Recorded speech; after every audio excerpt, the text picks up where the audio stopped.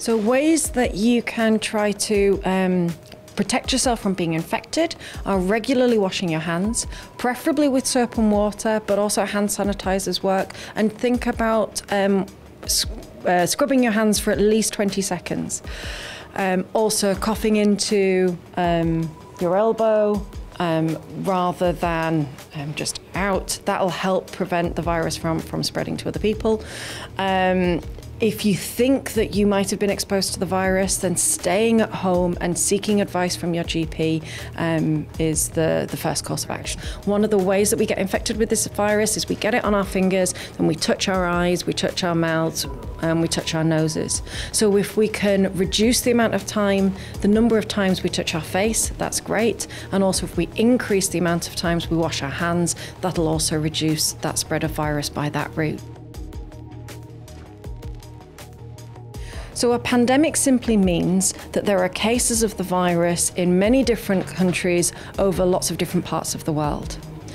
So, we're beginning to see that situation arising, but as yet, the WHO hasn't declared this situation a pandemic. It's worth bearing in mind that a pandemic doesn't, the word pandemic doesn't give you any information about the severity of the illness, the number of people who might be infected. It just means that we have transmission of the virus across many different countries. One of the things that's actually really helpful is slowing down transmission. If we slow down transmission, then we're less likely to see big peaks of cases which may um, overwhelm health services. For this virus, it's thought that an the average infected individual will spread the virus to three, up to three other people if we can, um, if people self isolate and take themselves out of um, walking around the community, they can reduce the number of people that they spread the virus to. However, if somebody um, who doesn't quite realise that they're ill yet goes to a big mass gathering, like the rugby match, they could then, instead of spread the virus to three people, they could spread that virus to many, many more people. Each of those people then go back to their communities, and you can see how the number of cases could spread very, very rapidly. And slowing down the transmission um, is one of the best things that we can do. So, self isolation means staying at home and limiting the number of people that you have contact with. So, if you have returned from an area where there's been lots of cases, um, you may be asked to, um, to stay at home for up to two weeks to see if symptoms develop. Um, also, if you have close contact with somebody who may have been exposed to that virus, again, contact your GP, get advice, and they may ask you to stay at home until you can be tested.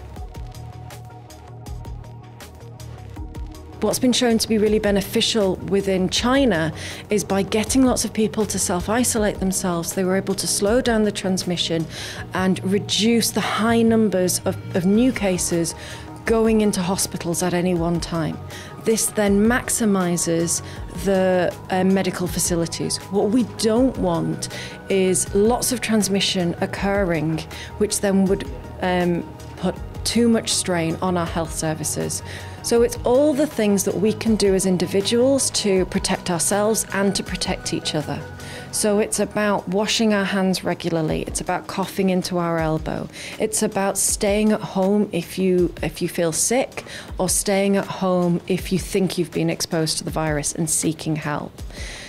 You may be young, fit, and healthy, and this virus may just um, occur for you as a flu like illness but somebody who has heart disease, diabetes, somebody in their 60s or 70s may be at risk of much more severe disease, so you want to do what you can do to protect them as well.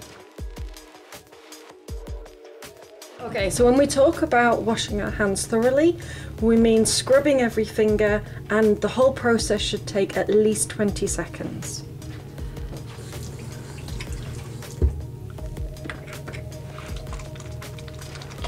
So you want to rub the backs of your hands and your wrists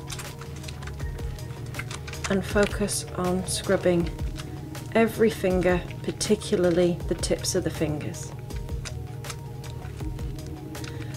When you're wanting to try and gauge what 20 seconds is like, a good way of thinking about it is singing the happy birthday song in your head twice.